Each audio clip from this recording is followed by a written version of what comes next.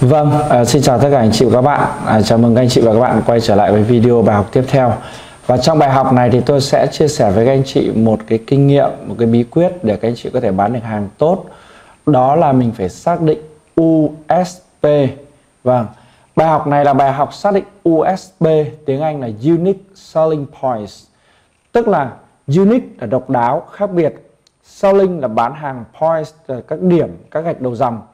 Ở đây mình có thể dịch USB tức là uh, chúng ta phải đi xác định những cái điểm khác biệt, những cái sự khác biệt uh, quan trọng của hàng hóa của dịch vụ mà chúng ta bán để chúng ta có thể chiếm lĩnh được thị trường, để chúng ta có thể bán hàng tốt, để chúng ta có thể kinh doanh tốt, để chúng ta có thể quảng cáo tốt, đúng không ạ? Thế thì các bạn thấy tưởng tượng như này, này à, nó gần giống với cái chiến lược là khác biệt hay là chết, đúng không?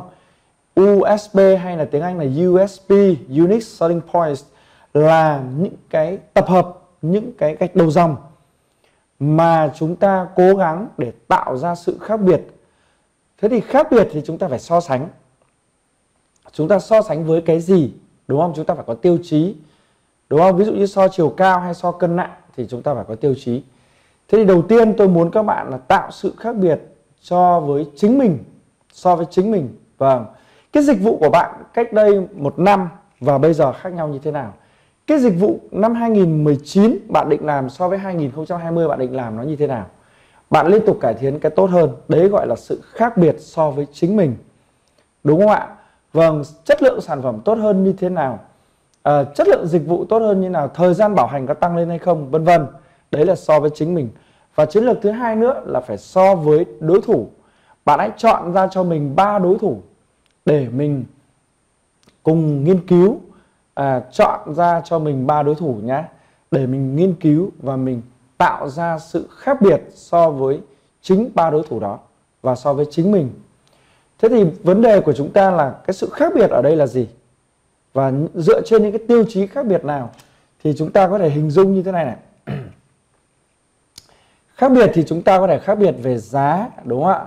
Về quảng cáo về hình ảnh quảng cáo. Nói chung à, thông điệp quảng cáo rồi thì media quảng cáo vân vân nói chung là về quảng cáo đúng không ạ? Về kênh phân phối à, về các cái dịch vụ hậu mãi à, về cách thức mua hàng cách thức ship hàng về uy tín thương hiệu à, về à, sự chăm sóc khách hàng đúng không ạ? Rồi thì về những cái à, vị thế vị trí kinh doanh tức là location đúng không ạ? Rồi thì về các cái hoạt động marketing vân vân. Đấy thì chúng ta đấy là chúng ta nói xét về mặt uh, các cái loại hình các cái uh, tiêu chí. Nhưng mà bây giờ chúng ta sẽ đi sâu vào chúng ta trả lời cho câu hỏi là là chúng ta có lợi thế gì? Ví dụ như lợi thế về giá chúng ta có lợi thế về nhà sản xuất chúng ta có lợi thế về bảo hành đúng không ạ? Chúng ta có lợi thế về công nghệ hay chúng ta có lợi thế về uh, phương thức bán hàng hay phương thức quảng cáo? Bởi vì các bạn nhớ rằng là các bạn đang dùng Facebook để quảng cáo các bạn đang dùng Facebook để bán hàng qua Facebook Ads qua profile qua group qua livestream đúng không ạ? Qua à, fanpage qua messenger qua các app các cái ứng dụng vân vân của Facebook. Thế thì bạn có cái thứ đó thì người khác không có à?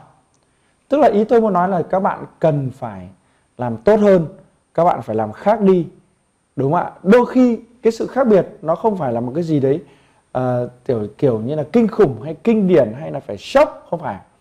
Thí dụ như là bạn khác biệt so với những người khác là gì? Bây giờ lên kênh youtube người ta làm sơ sài bạn làm kỹ hơn. Người ta làm một vài video bạn làm một vài trăm video. Nó khác biệt đây là sự kiên nhẫn sự chuyên nghiệp uh, sự coi trọng đối với khách hàng. Các bạn thấy đấy các bạn xem các bộ video của các giảng viên khác hay là của những cái thợ dạy hay là của những cái người uh, gọi là có một chút tên tuổi ừ, rồi người ta dạy chứ người ta không phải là giảng viên người ta không phải là chuyên gia. Thì rõ ràng là cái bài người ta nó không được logic cái sự đầu tư của người ta không được tốt và người ta không thực sự tạo ra sự khác biệt unique selling point cho sản phẩm của người ta. Đấy có rất nhiều cách để chúng ta có thể xác định được cái đó. Đúng không ạ? Thí dụ như là bây giờ chúng ta nhớ rằng là khi mà chúng ta mua iPhone thì cái sản phẩm iPhone bây giờ nó giống nhau đúng không? Nó giống nhau hết tiêu chuẩn mà. Thế thì bạn mua iPhone của ai? Tại sao bạn lại mua của FPT tại sao bạn lại mua của thế di động?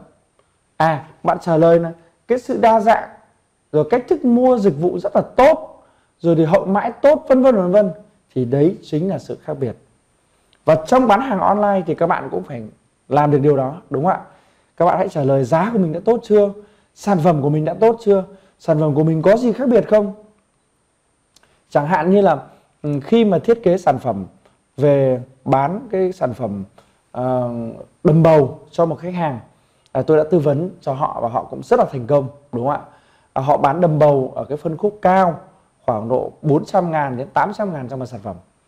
Thì tôi nói là gì? Với sản phẩm này tập khách hàng của em là những cái người phụ nữ uh, trước khi kết hôn người ta cũng rất là trẻ trung xinh đẹp người ta ăn mặc cũng rất là hiện đại. Vậy thì khi lúc còn trẻ người ta mặc cái gì? Thì em cho nó to to ra. À, nó sẽ trở thành váy bầu. Em đừng có làm những cái tạp dề làm những cái rất là kiểu công nhân xấu xí cho người ta mặc. Mà lúc trẻ người ta váy vóc hoa hòe hoa sói vân vân thì lúc bầu bạn cho to to ra như vậy. Thì đấy chính là một cái cái cái nghiên cứu về sản phẩm tốt unique selling point. Thứ hai là tôi nói là gì? Bạn xem là khách hàng cần cái gì. Thì ví dụ như họ gặp khó khăn khách hàng bầu gặp khó khăn trong việc là mua đồ lót. Bởi vì khi cơ thể à, tăng cân đúng không ạ do cái quá trình mang thai thì họ gặp khó khăn trong quá trình mua đồ lót. Vậy bạn hãy sản xuất đồ lót bầu và bạn tặng cho khách hàng với điều kiện là mua một sản phẩm tặng một cái bộ đồ lót như vậy giá hai ba trăm ngàn ví dụ thế. Mà trong khi đó giá sản xuất mình chỉ mất mấy chục ngàn. À, thì cái cách đấy là cái cách bạn sẽ tạo ra được cái unique selling point cho khách hàng.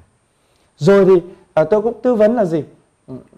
Nếu như mà khách hàng mà sau này mà không bầu nữa người ta sinh nở rồi người ta eo thon trở lại người ta vẫn muốn mặc cái váy đó thì mình có thể chữa cái váy đó cho người ta. Đấy chính là dịch vụ hậu mãi. Đấy là những cái thứ mình nhìn nhìn xa. Thì cái việc chạy quảng cáo Facebook cái việc bán hàng nó mới hiệu quả. Hầu như phần lớn mọi người gặp tôi đều đều than phiền về việc là em chạy quảng cáo không hiệu quả hay là em không biết chạy quảng cáo hay em chạy thế này, chạy thế khác. Nhưng mà tôi nếu không có đủ thời gian thì tôi không phân tích cho họ hiểu được rằng là cái việc chạy quảng cáo không phải là vấn đề. Các cái vấn đề về tối ưu nhắm chọn hình ảnh này kia thì trong cái bộ video, hơn 100 video như này 150 video như thế này. Và tiếp tục bổ sung bổ sung nữa. Các bạn học, các bạn sẽ hiểu hiểu. Và đến khi các bạn nắm được hết các kỹ năng kỹ thuật rồi, thì lúc này cái sự hơn nhau đó chính là tư duy về marketing tư duy về bán hàng tư duy về cái gọi là unique selling point.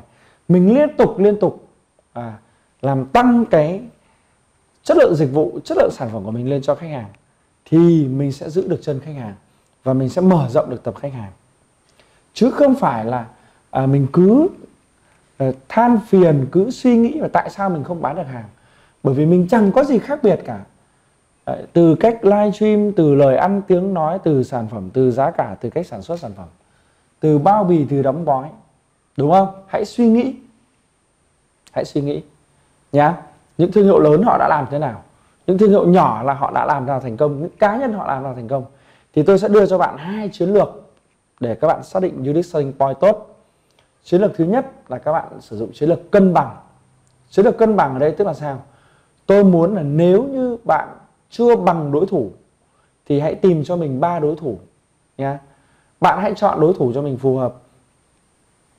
Chọn cho mình ba đối thủ, sau đó các bạn làm gì ạ? Xem là họ bán giá nào, họ có kênh phân phối như nào, họ bày trí như thế nào, họ dịch vụ như thế nào, vân vân. Giá bán, chiết khấu, vân vân. Mình hãy làm bằng họ đi. Thì cái đấy gọi là cân bằng. Còn cái gọi là chiến lược vượt trội hay là nâng cao đi đúng không? Chiến lược vượt trội tức là gì? Đầu tiên phải bằng người ta đã. Sau đấy mình sẽ vượt lên người ta thì chúng ta sẽ khác biệt hơn thì chúng ta sẽ tìm được cái thị trường của chúng ta. Đó thì cái tư duy về USB là một cái tư duy mà khi mà tôi đọc sách ở trong sách về marketing và thương mại điện tử khi tôi là giảng viên đại học tôi giảng dạy từ rất lâu rồi à, tôi luôn luôn suy nghĩ về điều đó. À, có những cuốn sách khác họ nói là sự khác biệt nhưng mà trong thuật ngữ tiếng Anh chuẩn nó là USB mình phải xác định được đúng không ạ?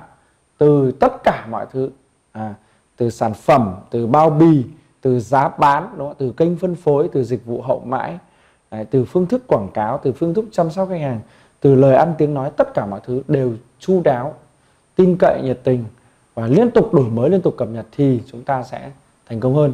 Và thậm chí chúng ta còn phải đi xa hơn nữa khi mà thị trường chưa nghĩ đến điều đấy, chúng ta đã nghĩ tới rồi. Ok, thì có thể hơi xa xôi một chút, đúng không? Hơi xa xôi một chút thì tôi cũng nói về cái unique selling point như vậy, để các bạn nắm được thêm. Thì các bạn hãy nhớ nhé, mình phải suy nghĩ về điều đó, mình phải tạo ra những cái thứ đó trong cái bài quảng cáo của mình. Thì lúc đó, mình viết quảng cáo, mình chạy quảng cáo nó mới hiệu quả. Người ta mới mua hàng. Chứ nếu mà mình không mình cứ nhập cái này về mình bán, mình nhập cái này về mình bán, thì làm sao mình mình mình bán được khi mà thị trường bây giờ nó có hàng nghìn người bán mà chỉ có một số ít người mua. Ngày xưa người ta nói là trăm người bán, vạn người mua, nhưng bây giờ ngược lại là vạn người bán mới có trăm người mua. Thị trường rất là khó khăn, vậy mình phải tạo được điều đó, đúng không ạ? Mình phải liên tục đổi mới sản phẩm, liên tục là sẽ tạo ra sự khác biệt, phải xác định unique selling point của mình trong từng quý, từng năm để mình có chiến lược. Ok. Một lần nữa xin được cảm ơn các bạn đã theo dõi video này. Hy vọng là các bạn đã hiểu ý đồ của tôi và mục tiêu của tôi khi giảng dạy cái phần bài giảng này. À, xin được cảm ơn và xin chào hẹn gặp lại các bạn trong video tiếp theo.